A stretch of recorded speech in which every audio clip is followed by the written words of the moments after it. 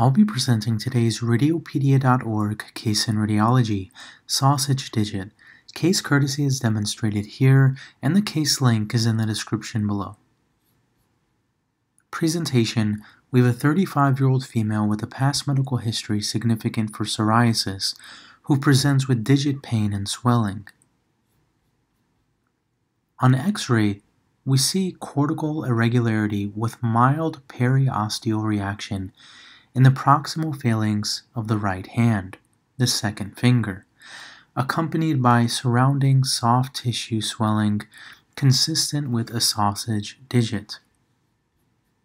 The sausage digit refers to the fusiform swelling of a digit due to soft tissue inflammation from underlying arthritis or dactylitis, and psoriasis is one of the important causes. The other important etiologies are tuberculous dactylitis and sickle cell disease.